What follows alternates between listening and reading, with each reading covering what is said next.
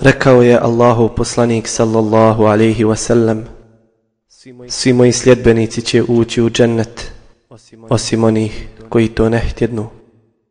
Neko reče Ako to neće Allahu poslaniće. Ko mi se bude pokoravao Taj će ući u džennet. Ako mi se suprostavi Taj neće ući Odgovori on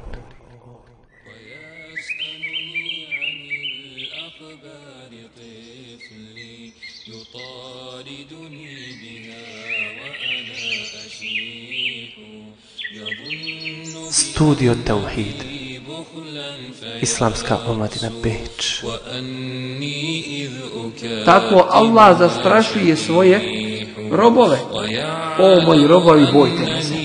S druge strane, obavijestio nas je o džennetu i njegovim ljepotama i slastima i užitku koji ima u džennetu i opisujući nam prave vjernike kaže jedaunahu ragaben wa rahaba mole Allaha iz želje da postignu ono što im je uzvišeni Allah obećao wa rahaba i bojeći se onoga s čime im je on uzvišeni zaprijetio bojeći se džehennemske vatre وصوحت الأزاهر والسفوح وماذا قد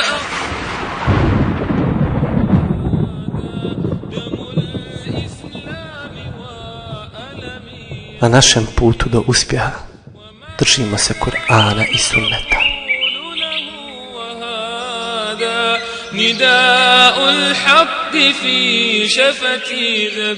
Rekao sam o Allahu poslaniće, reci mi o islamu i o islamu nešto nakon čega nikoga poslije tebe više neće A onda mu kaže Resulullah ali sad sam Kul amentu billahi summa staqim. Reci vjerujem Allaha, a zatim ustraj. Zatim budi na tome ispravnom putu do kraja svoga života. يقارع طومة الإجرام فردا وتشكو للجروح به الجروح. شعوب الأرض وتعاونوا على البر والتقوى. ميجو ولا تعاونوا على الإثم والعدوان. نمو تسيبوت بماجت غريه يمضي وهل بعد النزوح غدا النزوح؟ يقارع طغمة الإجرام فردا وتشكو للجروح به الجروح. وأشهد أن لا إله إلا الله وحده لا شريك له وأشهد أن محمدا عبده ورسوله. أرسله الله بالهدى ودين الحق ليظهره على الدين كله. ولو كره الكافرون يا أيها الناس اتقوا ربكم الذي خلقكم من نفس واحدة وخلق منها زوجها وبث منهما رجالا كثيرا ونساء. واتقوا الله الذي تساءلون به والأرحام. إن الله كان عليكم رقيبا. يا أيها الذين آمنوا اتقوا الله وقولوا قولا سديدا. يصلح لكم أعمالكم ويغفر لكم ذنوبكم ومن يطع الله ورسوله فقد فاز فوزا عظيما ثم أما بعد pitanje imana i ubjeđenja i atikada, vjerovanja i rada po njemu je najvažnije pitanje u čovjekovom životu. I bez sumnje Rasulullah sallallahu alaihi ve sellem je najveću pažnju upravo posvetio ovoj oblasti poučavajući muslimane ispravnom i čistom vjerovanju koje dovodi na kraju do ispravnih i čistih dijela. I nesumnjivo da je Resulullah a.s. uložio najveći trud upravo u ovoj oblasti. Tako ćemo vidjeti da je 13 godina Allahu poslanik a.s. pozivao u čisto i čvrsto vjerovanje.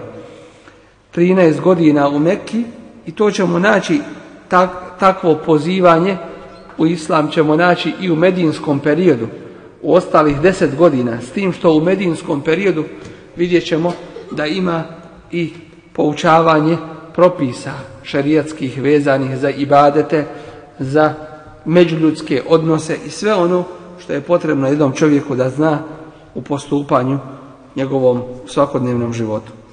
Dakle, pitanje vjerovanja je jedno od najvažnijih pitanja u čovjekovom životu i zato ćemo vidjeti da Kur'an i Kerim i sunnet Resula a.s. najviše govore o ovoj oblasti i da se u svim vrstama ibadeta upravo pitanje i atikada i vjerovanja čvrstog ubjeđenja proteže kroz sve šarijatske propise. Prenosi Ebu Hureyre radijallahu anhum od Božijeg poslanika sallallahu alaihi wasallam u hadisu koga bilježi Buharija i Muslim da je došao jedan čovjek vjerovjesniku sallallahu alaihi wasallam i rekao mu Dullani ala amelin Ida amiltuhu dehaltu l'đenne Allahov poslaniće ukaži mi na dijelo koje kada budem radio ući ću u džennet. Pogledajmo koliko je bilo interesovanje ashaba Allahovog poslanika sallallahu alaihi wa sallam wa radijallahu anhum za Allahovo zadovoljstvo, za džennet, koliko su se trudili da postignu one zaista prave vrijednosti za kojima treba čovjek da žudi u svome životu.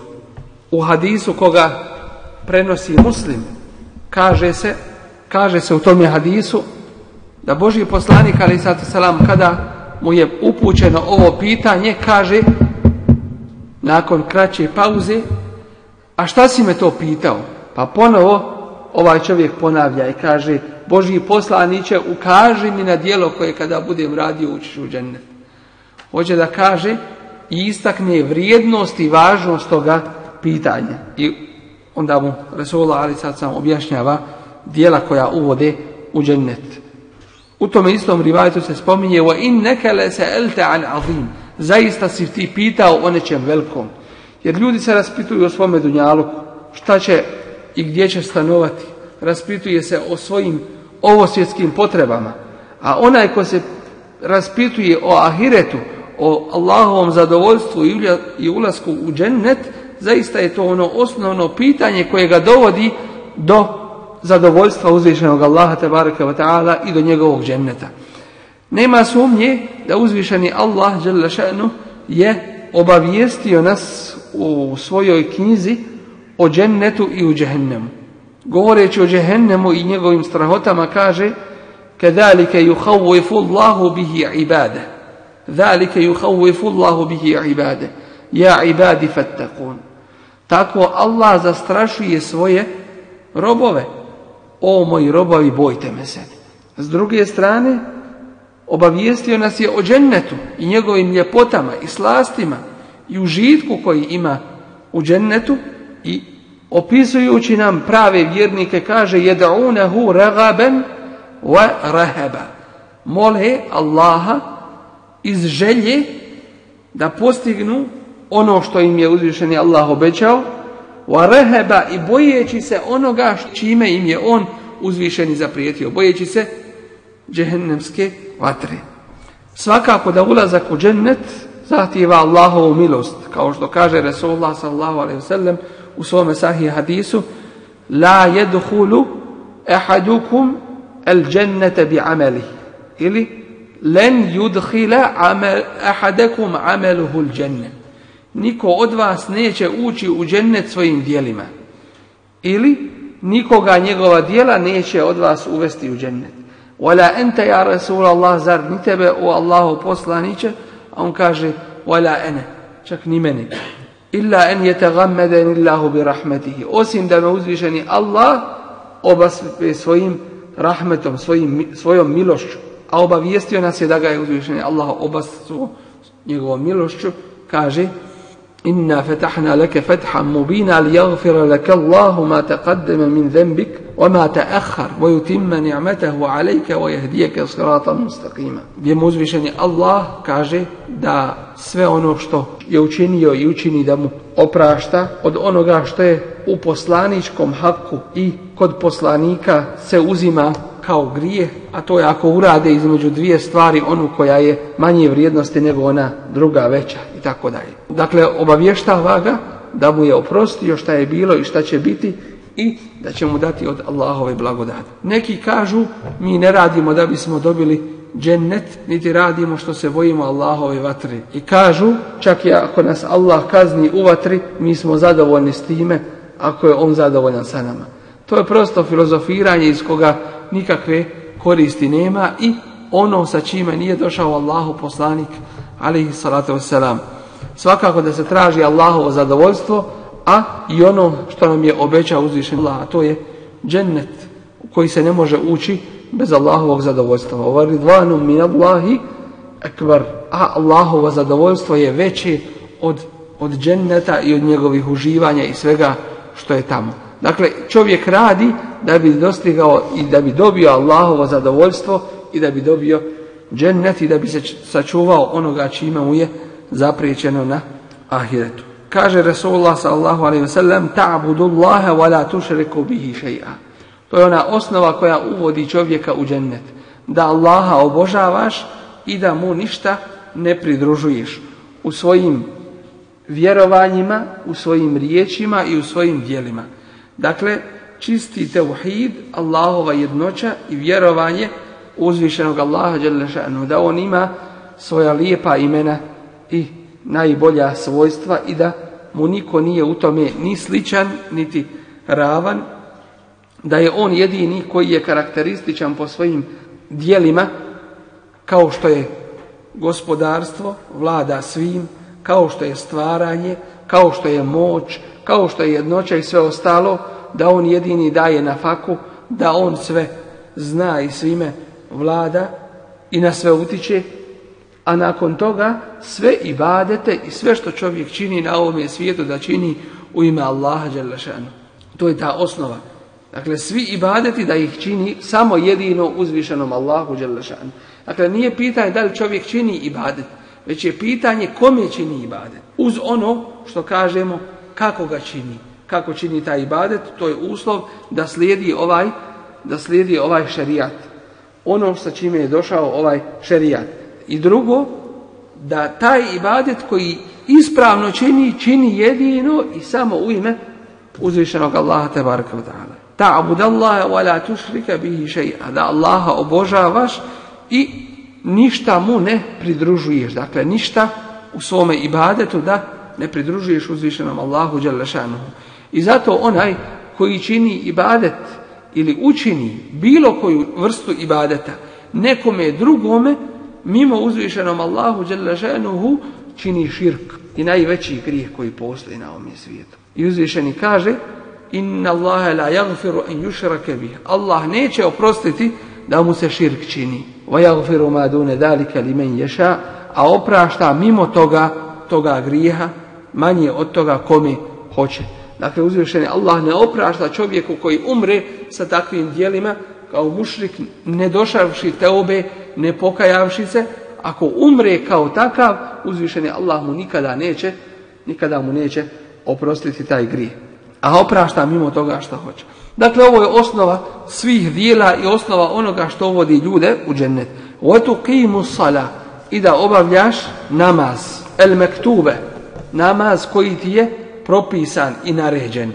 Otu edije zekat el mafruda i da zekat daješ koji ti je propisan. Zekat na imetak. Otu suma ramadane i da postiš mjesec Ramazana. Kale al-a'rabiju, a reče taj čovjek koji je došao, reče Allahovom poslaniku, ali sallatu selam, وَالَّذِي نَفْسِي بِيَدِهِ لَا أَزِيدُ عَلَى هَذَا وَلَا أَنْقُصُ مِنْهُ فلما ولى قال النبي صلى الله عليه وسلم من سره أن ينظر إلى رجل min ehlil dženneti feljanzura ila hada. Feljanzur ila hada. Zatim reče ovaj čovjek, tako mi onoga u čijoj ruci je moja duša, neću ništa povećati na ovo, niti ću šta od njega oduzeti. Pa kada se okrenuo, reče Allahu poslanik, ali selam, kome je drago da vidi čovjeka od stanovnika dženneta, neka pogleda u ovoga.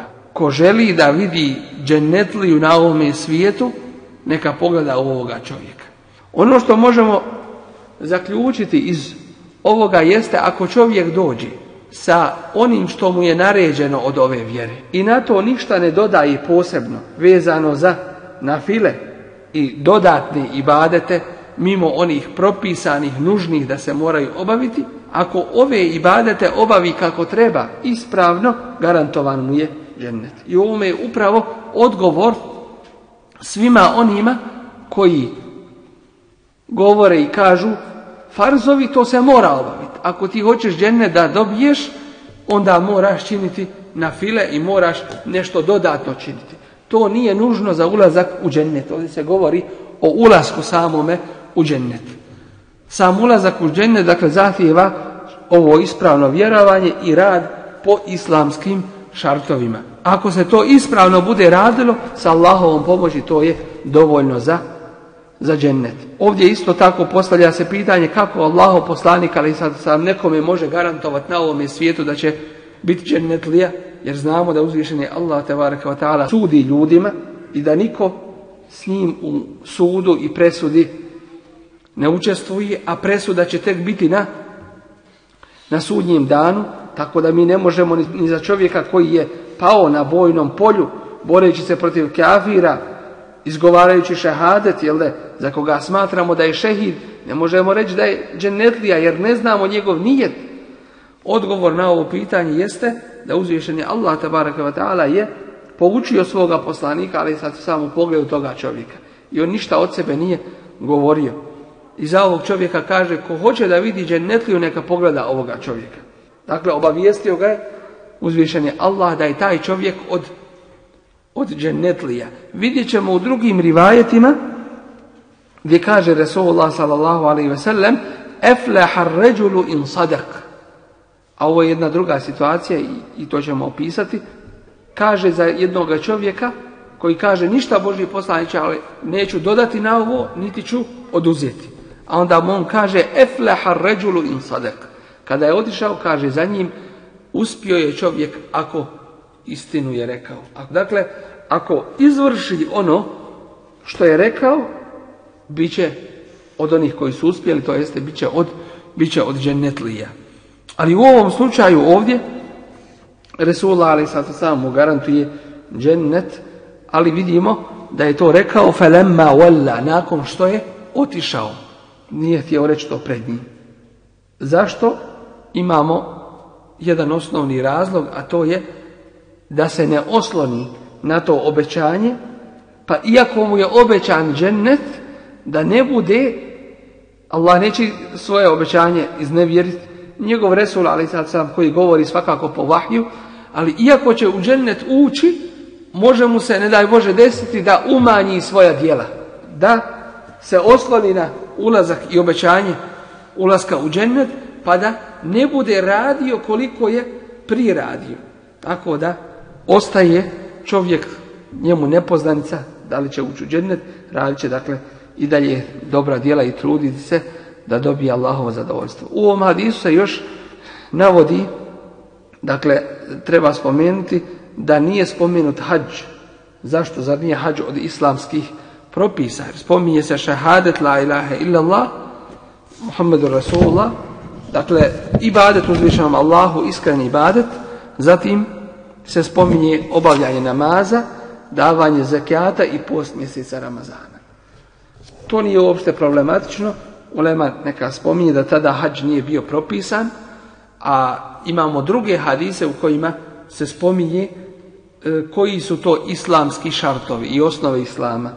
I u njima se spominje وَتَحُجَّ الْبَيْتَ in istata'te ilaihi sabila. Da hađ obaviš ako si u mogućnost. Dakle, i hađ ovo spada, ali u vremenu kada je bio pitan Allahu poslanik, ali sad sam ovome, hađ tada nije bio naređen. Ko što znamo da je bilo perioda kada nije ni zekijat bio naređen, ni post i tako dalje.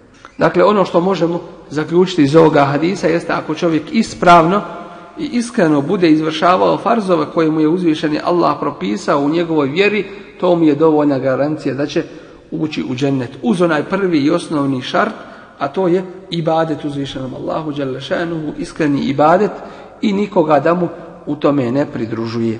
Ovaj hadis koji smo malo prije spomenuli, sličan njemu je i ovaj koji ćemo sada citirati, a spominje ga Buharija i Muslim, kao i Nesaija i Ebu Davud i drugi, a u kome se kaže An Talhat ibn Ubejdillahi kal, Ja'a rajulun min ahli Nejdin, prenosi Talha ibn Ubejdullah, govoreći da je došao čovjek od stanovnika Neđda, jedne pokrajine jednog predjela na arabijskom poluotoku, Thair al-Ra'si, koji je bio čupav, raspršane kose, nesma'u davija sautihi wala nefkahu ma yaqul. Čujemo da nešto govori, ali ne razumimo šta govori. Hatta dana, فإذا هو يسأل عن الإسلام دوك سنية بريبليجيو قد بيتا أونو إسلام فقال رسول الله صلى الله عليه وسلم خمس صلوات في اليوم والليلة. بيتا مازا وتوكو دانا إنوش. فقال هل علي غيرهن؟ بابيتا إمام يا أوبا بزنك يدرغي نمازة كلانيتي ميموفي فقال لا إلا أنت الطوع كاجمونه أسم ده tatavu činiš, to jeste dobrovoljno nešto da činiš. Kale wasijamu šehri Ramadan. Da postiš mjesec Ramazana. Kale hel alaije gajruhu, imam li ja obavezu nešto drugo da postim? Kale la illa ente Nema Nemaš obavezi, osim ako hoćeš dobrovoljno to da činiš. Kale wa dekara lehu, lehu Rasulullahi sallallahu alaihi wasallama az-zakata, fa kal hel alaije gajruha fa kale la illa ente tawwa.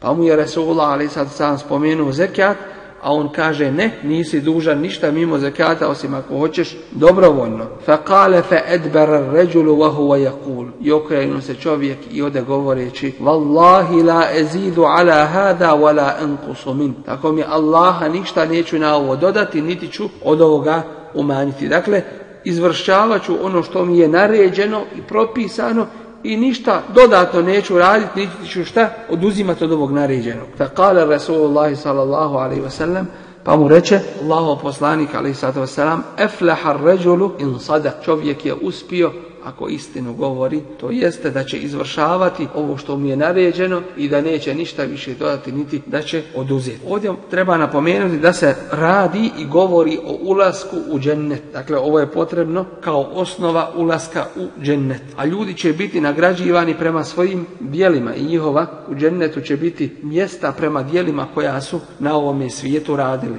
Pa se može desiti da su dvojica ljudi klanjali isti namaz, a ovome je polovica toga namaza primjena, a drugome trećina. Isti namaz kao farz su obavljali, ali nisu isto bili skrušeni, nisu razmišljali u namazu i nisu bili prisutni isto, tako dalje, tako da se razlika, da se i u tome pojavljuje razlika među, među njima. Drugo, što čovjek više radi dobrovoljnih ovih ibadeta, ovaj tatawu, u stvari nakon ulaska u džennet Allahovom milošću dobiva veći stepen po svojim dijelima. Dakle, što više radi dobrih dijela, sve će sa Allahovom pomoći i milošću dobiti veći stepen u džennet. Hadis Božijeg poslanika, ali selam od Sufjan ibn Abdillah Thaqafija, u kom je kaže, kultu ja Rasulallah, قل لي في الإسلام قولا لا أسأل عنه أحدا غيرك قال قل آمنت بالله ثم استقم prenosi se od Sufjan ibn Abdullaha Sekafija u hadisu koga bilježi Muslim i Ahmed u svome musnedu gdje se kaže rekao sam o Allaho poslaniće reci mi u islamu i o islamu nešto nakon čega nikoga poslije tebe više neću pitati. A onda mu kaže Rasulullah alaihi sallam kul amentu billahi thumme staqim. Reci, vjerujem Allaha, a zatim ustraj. Zatim budi na tome ispravnom putu do kraja svoga života. Iz ovog hadisa se može više pouka izvući. Kao prvo, da nije dovoljno samo u određenom periodu čovjekovom prihvatiti istinu, već pored prihvatanja istine potrebno je na njoj ustrajati. Zato kuranski ajet kaže وَتَوَاسَوْ بِالْحَقِّ وَتَوَاسَوْ بِالصَّبْرِ jedni drugima preporučuju istinu, a najveća istina jeste vjerovanje iskreno i čisto i rad po tome, sabr, a nakon toga jedni drugima preporučuju strpljivost, ustrajnost, čvrstinu, izdržljivost na pravome putu. Jer nakon imana čistog i čvrstog dolazi zasigurno iskušenja ljudima. I zato nije dovoljno da čovjek samo u jednom trenutku prihvati istinu i da se za tu istinu žrtvuje, a nakon toga, na kraju svoga života, da promijeni to, da ostavlja svoje obaveze, da radi kako ne treba. I zato je vrlo važno kakav će se čovjek susresti sa uzvišenim Allahom Đelešanu. Jer će biti proživljavan onako kako preseli, onako kako je pred kraj života živio. Dakle, čovjek treba da nastoji da kako je prije radio dobra djela, da još više pred kraj, pred kraj radi dobra djela. Govorili su nekim ashabima, Allah ti se smilovao. Zar nisi kao mladić primio islam? Zar nisi se borio na Allahovom putu?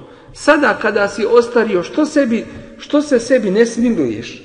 Što sebi malo ne olakšaš? Što toliko sebe opterećuješ u namazu, postu, učenju Kur'ana i tako dalje? A on mu odgovara jednim jasnim primjerom. I kaže, zar nisi gledao kada se konji utrkuju? Pa ćeš vidjeti da veliki napor ulažu na početku svoga puta. A kada dođu pred cilj, onda one posljednje snage svoje ulažu i najjeću snagu daju upravo tu na cilju. A kaže, ja sam već došao do svoga cilja.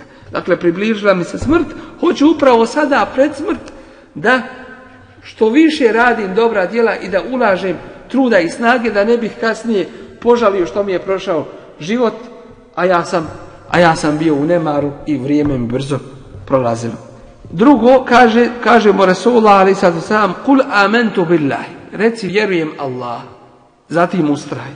Što znači da ovdje vjerovanje obuhvata i rad, ne samo vjerovanje kao i atikad, ubjeđenje, već i rad po tome vjerovanju i onda nakon toga ustrajnost na tome, na tome putu. Dakle, iman uz, uzvišenog Allaha, tabaraka wa ta'ala, obuhvata kako ubjeđenje i vjerovanje, tako i govor i rad tome objeđenju i vjerovanju. Kao što je važno da čovjek vjeruje, još je važnije da u tome ustraje. Thumme, zatim ustraje, što znači to ustrajavanje potrebno mu je jedan duži period da čovjek se učvrsti u tome imanu i ustraje u njemu da ne popusti. Prenosi se od Ubadet ibn Samita radijallahu anhu da je Božji poslanik ali sad sam rekao Kale Rasulullahi sallallahu alaihi wasallama wa hawlahu isabetum min ashabi a oko njega je bila jedna skupina njegovih ashaba على ala تشركوا tušriku billahi še'a Dajte mi zavjet, bejo da nećete Allahu nikoga pridruživati, da mu širk ni u čemu nećete činiti. Wala tesriku, niti da ćete krasti. Wala teznu, niti da ćete zinalog činiti, ne mora. Wala taqtulu auladakum, i da nećete svoju djecu ubijati. ولا تأتوا ببهتان تفترونه بين أيديكم وأرجلكم niti da ćete svoju djecu drugima postavljati kao da su to tuđa djeca ولا تعصوا في معروف i da nećete biti nepokorni u onome što je vjerom propisano i što je poznato فمن وفى منكم فأجره على الله ko od vas to ispuni njegova je nagrada na Allah Allah uzvišen će ga nagraditi. وَمَنْ أَصَابَ مِنْ ذَلِكَ شَيْئًا Ako od toga nešto učini, od ovih grijeha, فَعُوقِبَ فِي الدُّنْيَا pa bude kažnjen na dunjaluku, na ovome svijetu. فَهُوَ كَفَّارَةٌ لَهُ To mu je kefaret za ono što je učinio. Jer uzvišeni Allah svoga roba ne kažnjava dva puta za jedno djelo. Već ako ga kazni na ovome svijetu, to će mu biti kefaret i iskupljenje za taj grijeh. وَمَنْ أَصَابَ مِنْ ذَلِكَ شَيْئًا Ako od toga nešto učini, ثُمَّ سَتَرَهُ اللَّهُ عَلَيْهِ Pa ga Allah pokrije u tom je grijehu. Ne dadne da taj grijeh postane poznat među ljudima, da ga ljudi vide i saznaju za njega. Fehuva ila Allah. Onda taj čovjek i njegova djela su kod Allaha. In ša'e afa anhu. Ako hoće, Allah će mu oprostiti ih. Wa in ša'e aqabahu. A ako hoće, kaznit će ga za to. Da vidimo neke pouke iz ovoga hadisa isto tako. Resulullah a.s. kaže jednom od prvih ashaba Ensarija, Ubadetu ibn Samitu, traži od njega i njegove skupine da mu dadnu zavjet. Ovaj zavjet traži Resulullah a.s. od svojih ashaba. I ovaj zavjet se traži od ljudi, od strane halife, vladara muslimana i onoga koga je postavio taj halifa. Pravedni vladar muslimana koji sudi po, po šarijatu, po zakonu ove vjere. Beja se ne daje drugim ljudima.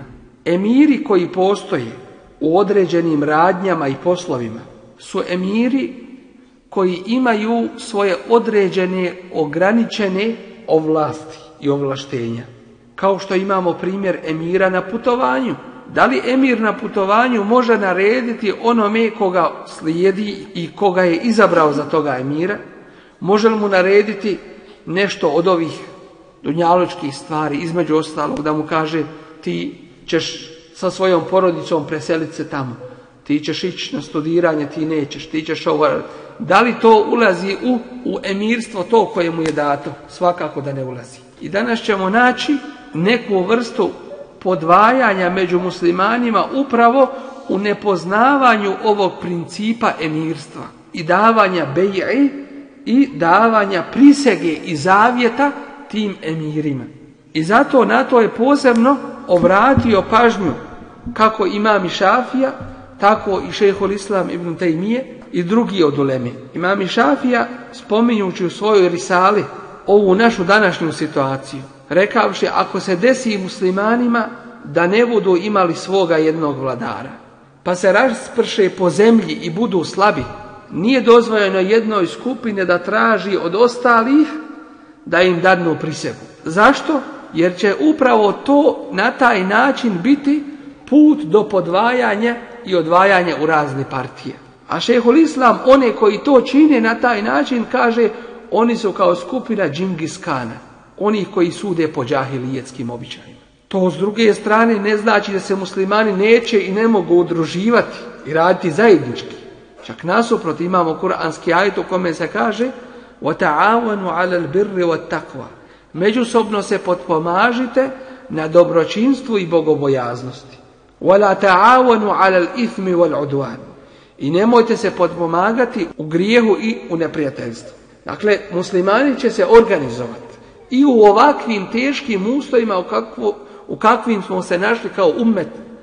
ali to ne znači da će jedni drugima beju davati i prisegu onu koja se daje halifi i koja je spomenuta u hadisima Resula, ali sad samo kojima se kaže ko umre, a na vratu mu nije taj zavjet i ta prisega umire džahilijetskom smrću. To se govori o nužnosti uspostavljanja hilafeta i davanja zavjeta i beji glavnome imamo muslimana halifi i onima koje je taj halifa i predvodnih muslimana postavio. Ali mi u odnosu sa drugim muslimanima postupamo kao što kaže imam At-Tahavi, mi smo svakom muslimanu prijatelji u onolikoj mjeri u koliko se pridržava Kur'ana i sunneta, a ne prijatelji u onolikoj mjeri ukoliko je ostavlja Kur'an i sunnet. Što znači ova podvojenost ne smije biti prisutna kod muslimana. Da se kaže ja sam pri toj skupini i ko je pri toj skupini on je samo na pravome putu. Drugi ko se nije pridružio njima on je na dalaletu. On je na krivome putu i drugi su nam neprijatelji koji nam se nisu pridružili. To ne smije se desiti kod muslimana. Dakle, pitanje toga emirstva je u pogledu ovih stvari u kojima su odabrani emirstva ograničenog karaktera. Samo u pogledu onoga u čemu su bili odabrani. Vezano za davet, vezano za džihad na Allahovom putu, vezano za put i tako dalje. Dakle, ta emirstva su vezana upravo za tu oblast iz koje su i, i izabrani. S tim što to nije ono emirstvo koje nam se naređuje u hadisu Božeg poslanika, ali sad sam i ona pokornost o kojoj se govori ko je pokoran mome emiru, pokoran je i meni, ako je pokoran meni, pokoran je uzvišenom Allahu, već je to po hadisu Resula a.s. el muslimuna ala šurutihim. Muslimani su prema svojim šartovima. To jeste ako smo se dogovorili pod ovim uslovom da, će, da ćemo zajednički raditi, onda je ta obaveza prema dogovoru, a ne prema izričitoj naredbi navedenom u Kur'anu i sunnetu Rasula alaihi salatu wasalam. Baji'uni ala alla tušriku billahi šeja. Kaže Rasulullah alaihi salatu dajte mi zavjet da nećete širk Allahu ni u čemu činiti. I to je zavjet salatu wasalam i to je zavjet koji čovjek daje u pogledu svoje vjere. Da će biti, dakle, iskren u pogledu vjerovanja u uzvišenog Allaha tabaraka wa ta'ala i da će jedino njemu ibadet činiti. Wala tesriku, da nećete krasti, da nećete nemoral činiti, da nećete ubijati svoju djecu, da nećete jedni drugima postavljati svoju djecu kao da je njihova djeca, da nećete nepokorni biti u onome što je propisano. Naći ćemo Kur'an Kerimu da uzvišeni Allah opisujući nam svoje poslanike kaže da su neki pozivali na jedno, drugi na drugo. U pogledu ovih propisa. Ali kod svih je bio isti princip osnovni. A to je Ja kao mi abudullahe ma lekum min ilahin gajru. O moj narode, Allaha obožavajte, vi drugog Boga osim njega nemate. Svi su to pozivali. Ali u pogledu ovih propisa koje ovdje vidimo, nemojte zinalog činiti, nemojte krasti, nemojte ubijati svoju djecu i tako dalje. Vidjet ćemo da su Allahovi poslanici posebnu pažnju pridavali otklanjanju grija koji su se pojavljivali u njihovo vrijeme. Kod Luta, ali i salam, vidjet ćemo da on kaže, o moj narode, ete tune zukrane min al alemin, zar vi prilazite muškarcima od svijeta, nemorali, najgoru vrstu nemorala činite, وَتَذَرُونَ مَا خَلَقَ لَكُم مِّنْ أَزْوَاجِكُمْ i ostavljate ono što vam je Allah stvorio od vaših žena i tako dalje. Kritikuje ih u pogledu toga nemorala koji su činili. Naći ćemo kod ashabul ejke, kod Medjena, njihovog poslanika Šuajba a.s. da kaže euful kejle wala tekunu minel muhsirin wazinu bil qistas il mustaqim jer su u njegovo vrijeme varali puno na vagi, na mjeri i tako dalje. Pa im kaže ispunjavajte, pravedni budite u vaganju i nemojte umanjivati kada vagate ljudima i tako dalje. Kod drugih Allahovi poslanika naći ćemo da su obraćali pažnju na otklanjanje upravo tih grijeha koji su tada u to doba bili prisutni. I ovdje kada Rasulullah s.a.v. kaže wala tesriku nemojte nemojte krasti wala teznu nemojte zinalog činiti tako dalje dolazi jedna žena Božim poslanikom ali sad sami kaže a Božji poslaniće zar može jedna slobodna žena časna žena zinalog da čini nemoral da čini čak i u džahilijetu kod njih je bilo nekih principa moralnih I zato Resulullah ali sad sam dolazi da upotpuni moralne vrline. Ne da ih osnuje jer su one već postojale. Jer ostaci prijašnjih objava vjerovjesnika su bili među ljudima. Ali došao je da otkloni one negativnosti i upotpuni i usavrši ih. Pa kaže, zar može jedna slobodna časna žena zinalog da čini nemoral? Ali ova vjera nije objavljena jednoj kategoriji ljudi, nego svim ljudima. I zato se u hadisu Rasula sallam kaže hijarukum fil džahilijeti hijarukum fil islami iza fekuhu. Najbolji među vama u džahilijetu su najbolji među vama i u islamu ako shvate Allahovu vjeru i prihvate je. Ovaj hadis prenosi se od Božijeg poslanika ali salam u Buhariji i u Muslimu. En nasu ma'adin ljudi su kao rude. Nisu iste vrijednosti među ljudima, nisu svi ljudi isti. Ke ma'adin il fiddati wa zahebi. Kao ma'adin, kao rude, što vidimo, zlato i srebro. Hijaruhum fil džahilijeti, hijaruhum fil islami da. Najbolji u džahilijetu su najbolji i u islamu ako, ako shvate islam, ako ga prihvate. I zato vidjet ćemo Boži poslanik, ali selam, da kada se ženio, na primjer, uzimao je od najboljih porodica od porodice Ebu Bekra, od porodice Omera radijallahu anhu. Uzimao je od prvaka ljudi koji su bili prvaci u svojim narodima, u džahilijetu. Hujej ibn Ahtab, to je bio prvak židova u Hajberu. On ženi njegovu kćer Safiju. Ti ljudi koji su u džahilijetu se isticali po svojim vrijednostima, isticali su se i u islamu, svakako, kad shvate islam. A vidjet ćemo isto tako i da je davao svoje kćerke, Boži poslanik, ali sam najboljima, kao što je bio Osman radijallahu anhu, Dhun dao mu dvije svoje kćerke, jednu, prvo jednu, pa onda kada je ta preselila na Ahiret drugu, pa Alija radijallahu anhu i tako dalje. Dakle, ovaj govor je upućen svim muslimanima, ne samo određenoj kategoriji ljudi, da ne kradete. Ola teznu zinalog, da ne činite, da ne ubijate svoju djecu, bilo koji način i vrsta ubijanja djece, kada u tu djecu bude udahnuta duša, bez obzira da li su rođena ili još nisu rođena. U, to je ubijstvo djece. Bilo da se radi prije rođenja ili poslije rođenja. Dakle, nije dozvoljeno ubijati djecu i zato će čovjek biti odgovoran na sudnjem danu pred uzvišenim Allahom. Da drugima ne postavljate svoju djecu i zato Božji poslanik ali sad sam kaže od kufra je da se čovjek pripisuje nekome drugome, zna da mu je to otac, on kaže nije to moj otac i tako dalje, ne bi li zanijekao možda to porijeklo ili nešto što je taj njegov otac radio, čega se on stidi. Pa to Resola, ali sad sam spominje, kao jedan vid kufra. Wala ta'asu fi ma'ruf i da budete pokorni u ma'rufu, onome što je poznato. Femen wafa minkum fe ala Allah.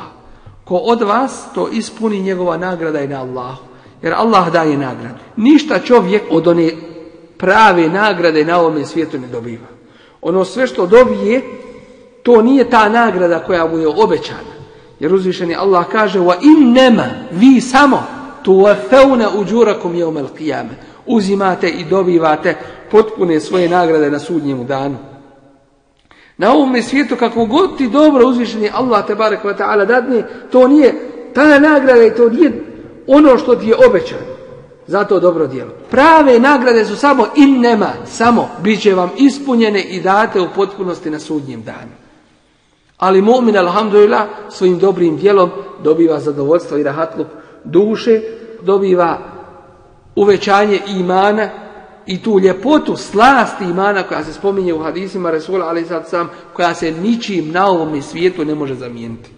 Neka i ne imaš, neka si u ovome ili u onome stanju, u teškoćama, ovim dunjalučkim, ali imaš li taj iman i jel ti se on uvećava dobrim dijelima i ibadetima, zadovoljstvom uzvišenog Allaha te baraka ta'ala, to ti je najveća blagodat na ovome svijetu. وَمَنْ أَصَابَ مِنْ ذَلِكَ شَيْئًا فَعُوقِبَ فِي الدُّنْيَا Ako nešto od toga učini, od ovih spomenutih grijeha, ali mimo širka, jer imamo hadise, imamo ajet prije toga ajete koji govore da uzvišeni Allah ne oprašta širka. Čovjeku koji umre kao takav ne pokajavši se za, za širk učinjeni. I zato bilo koji ibadet koji se čini uzvišenom Allahu, ako čovjek učini nekome od ljudi širk je učinio. Ili bilo kome drugom ima Allah. Makar klanjao, postio, zekija davao, hađ obavljao i mislio da je musliman. Ako ode, i imao mi nažalost takvih mjesta, gdje ode i okrene se prema kaburu i klanja tu. Gdje moli mrtvoga, pomozi mi taj i taj, zamoli Allaha, traži posredništvo, kao što su mušici tražili posredništvo od kipova. I govorili ovi kipovi nisu grijeh Allahu činili, pa neka oni posreduju kod Allaha. Ma na'buduhum illa li uqarribuna ila Allahi zulfa. Kada im se kaže što obožavate te kipove, oni kažu mi njih ne obožavamo ni zbog čega drugog, samo da nas oni Allahu približe. Mi opet doćemo Allah.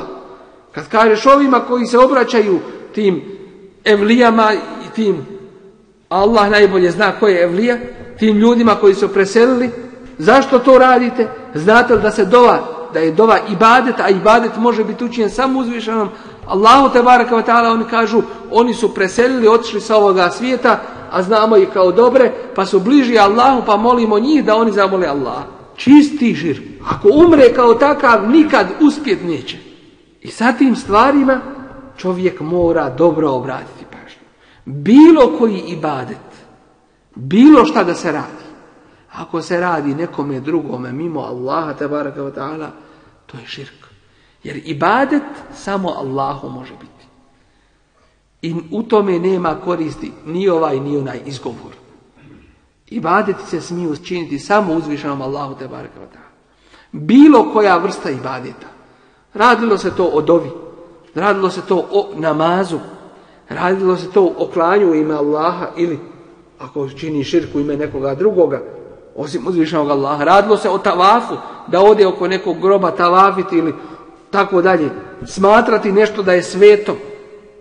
Čovjeka da, da čovjek propisuje šerijatske propise i da on što kaže da je to neprikosnoveno, a uzvišeni Allah to jedino može propisivati. Vladati po zakonima koje Allah nije propisao, Allah nam dao u svojoj knjizi, Kur'an i Kerimu, i u sunnetu Rasula, ali sad sam, kakvi su propisi za sve, a ljudi to ostavljaju po strani i misle da je dovoljno klanjati i postiti i zeka činiti i hađ obavljati i šahadet govoriti, a ne suditi po Allahovim zakonima.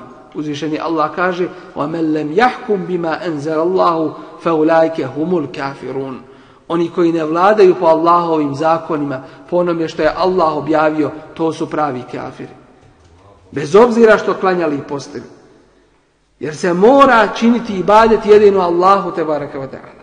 A ko je taj ko piše zakone i propisuje ljudima i kako će ibadeti, a vrsta ibadeta jeste i to kako će se vladati i suditi po Allahovom zakonu. I od riječi kufra je da se kaže mi hoćemo i smatramo da je to najbolji zakon, zakon demokratije, zakon ovoga ili zakon onoga. To su riječi kufra neuzubila. I na to čovjek mora obratiti pažnju, jer time izlazi iz svoje vjere. I tu je šeitan najveći uspjeh polučio. Kad te zavara da misli da si ti na pravome putu, a ti ne uzubila sve bliži džehennem. Dakle, bilo koji ibadet, samo se Allahu smije činiti i nikome drugome.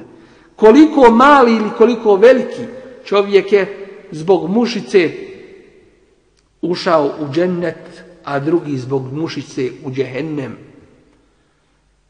Prolazili su jedan i drugi pored jednog naroda koji je obožavao kipa svoga.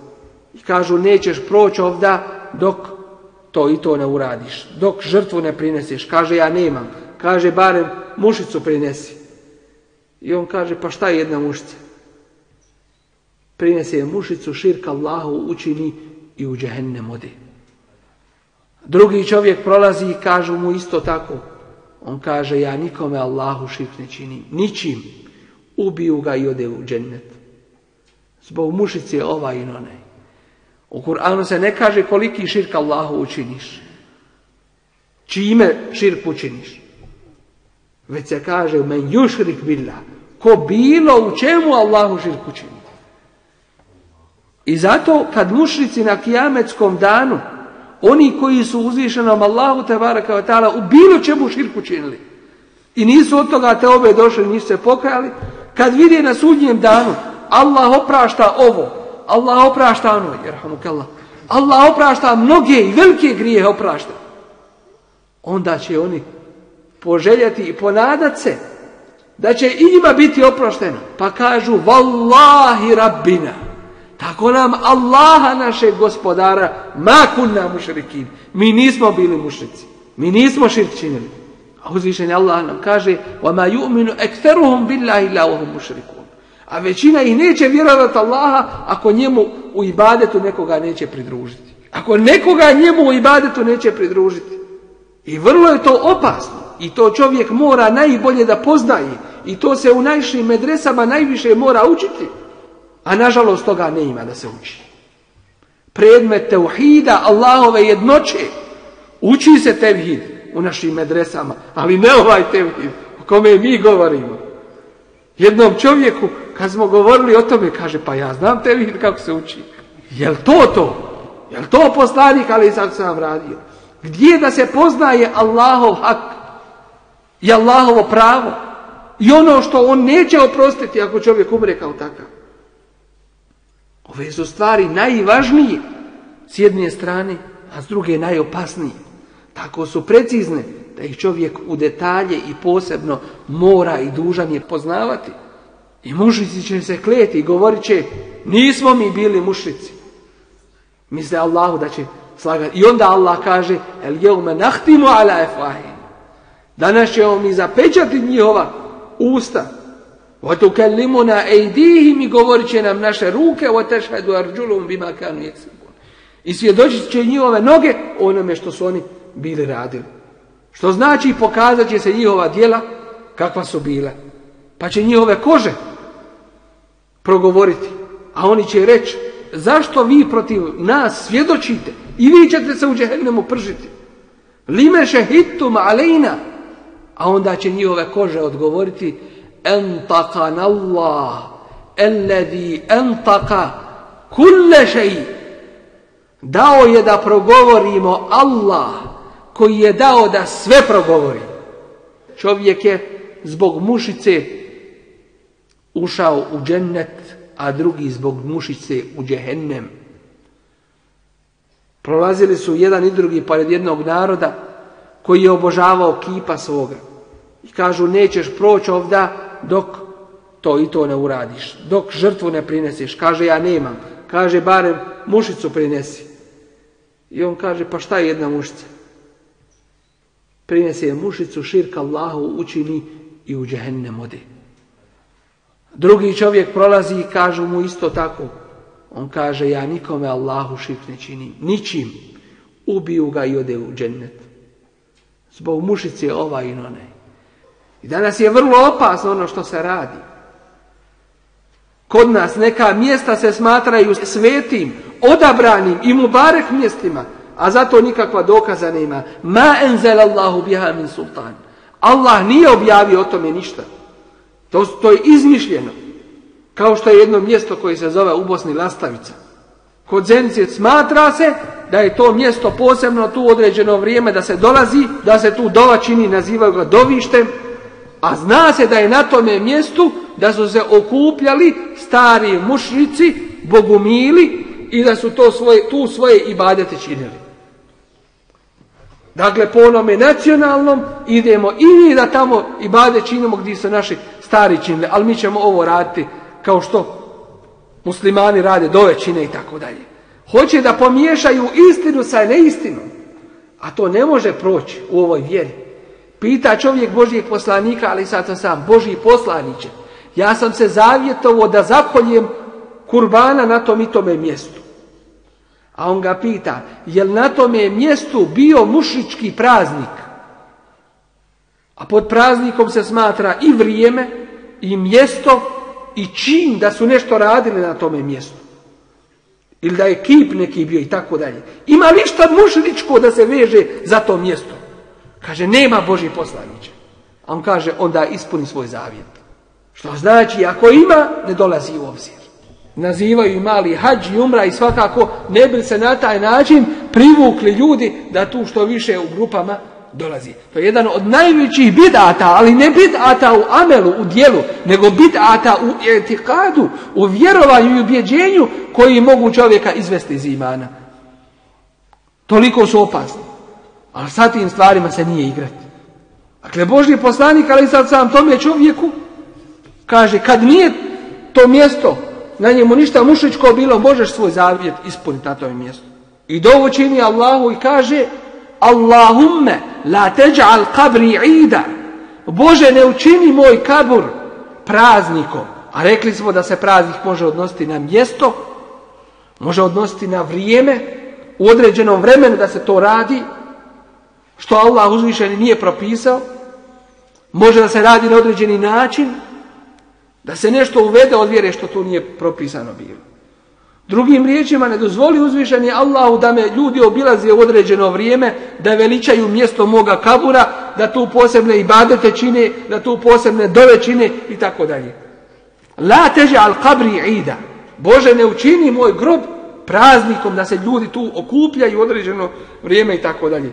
Da rade ono što rade na drugim mjestima. Uzvišeni Allah mu je to tu dovu uslišao i primio, iako neki pojedinci opet pokušavaju, ja sam to vidio za vrijeme studiranja u Medini, da neki od džahila koji dođu sa strane uzmu i napišu svoje potrebe na papiriće i ubacuju dole ispod zastora iza koga je mezar Božeg poslanika, ali sad ubacuju te papiriće svoje, ne bi na taj način svoje potrebe riješili kod Božijeg poslanika, ali sad Dakle, džehl vodi čovjeka na veliku stramputicu.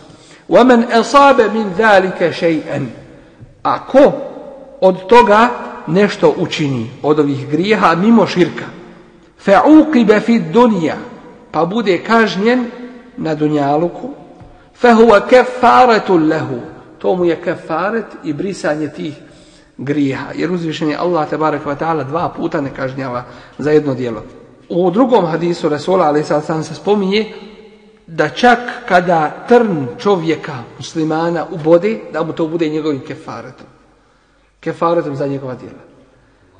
Trn, pa onda se spominje isto tako hemmun, a to je briga, tuga, zabrinutost i bilo šta od teškoća na ovome svijetu.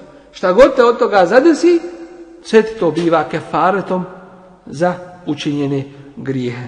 وَمَنْ أَصَابَ مِنْ ذَلِكَ شَيْئًا Ako od toga nešto uradi, thumme setarahu Allah. Allah ga ne kazni na ovome svijetu, nego ga pokrije. Ljudi to ne saznaju. Zato se u hadisu Rasula a.s. kaže, svi ljudi su u dobru, osim onih koji javno to rade. Koji po noći urade jedan grijeh, Allah ih je pokrio, a oni osvanu pa ljudima pričaju to i to sam uradio. Dakle, svi ljudi su u dobru, u osnovi dobra i imana i vjerovanja, pored toga što znaju nekada i grijeh učiniti, pa te obe dolaze i im Allah oprašta i tako dalje, osim onih koji javno čine grijehe ili ih pričaju ljudima, a Allah ih pokrio. I zato je pogrešno shvatanje i govor onih koji kažu kad zna Allah, neka znaju i ljudi. Da li znaju ljudi ono što zna Allah? I znaju, treba li da znaju ljudi ono što zna Allah? Dakle, ne može to biti i to je pogrešno shvatanje. I ne mogu, zar smo ljude stavili eđa'alna nase lillahi nidda, jesmo ljude učinili Allahu drugovima, da oni trebaju da znaju i ono što Allah zna, pogrešno potpuno shvatanje.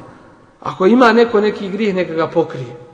I nije dozvoljeno ga pričati, osim u jednoj situaciji, ako se radi o grijesima iz džahilijeta, kojima čovjek želi da omrzne taj grijeh drugima.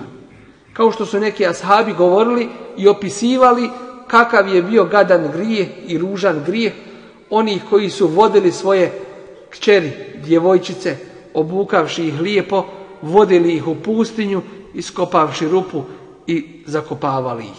Opisujući taj svoj grije i način kako su to radili, žele da ljudima omrznu taj džahilijet, a ne da im to privole, da im omile taj džahilijet. Thumme setarahu Allah, zatim ga Allah pokri, alihi fahuva ila Allah. Allahu je njegov grijeh, inšaje afa. Ako hoće na kijametskom danu, oprostit će mu, wa inšaje aqabehu, a ako hoće, kaznit će ga džehennemom za taj, za taj grijeh. Govori se svakako o grijehu mimo širka i govori se svakako o grijehu od koga čovjek nije te obučenio i nije se pokajao. A onaj ko se iskreno Allahu ta'ala pokaje, uzvišeni Allah mu prihvata njegovu teobu i pokajanje. Molim uzvišenog Allah ta'ala da nas pouči propisima njegove vjere i da nam ih olakša. Amin. Subhanak Allahumma bihamdika an la ilaha illa anta astaghfiruka wa atubu ilaik.